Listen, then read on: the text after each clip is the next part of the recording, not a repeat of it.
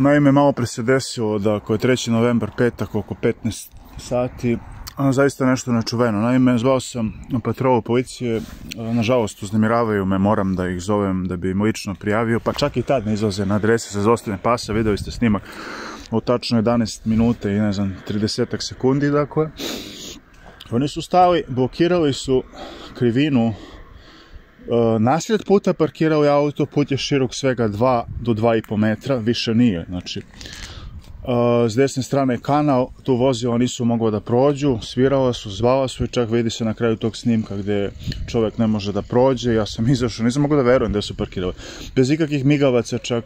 Oni se ponašaju kao organizovana kriminalna grupa, to je isto ona patrola koja je bila na uviđaju kad je pokušano moje ubistvo 16. marta, Ja sam podnao tada i krivičnu prijavu protiv njih i pritužbeni postupak sektora unutrašnje kontrole i tužilaštvo krivično.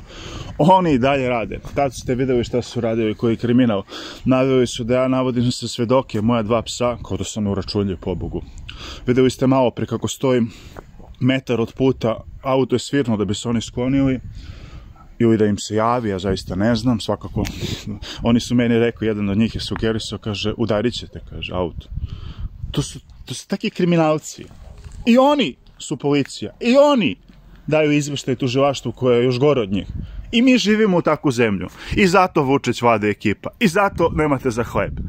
Pa sad vi vidite ko je ko i dok ovo vodi. Ja znam moj put. Ovde nema rešenja. Rešenje je da se odi ove kriminalne rupe od države.